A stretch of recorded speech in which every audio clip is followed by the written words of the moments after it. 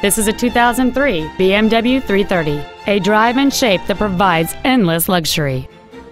It features a six-cylinder engine and an automatic transmission.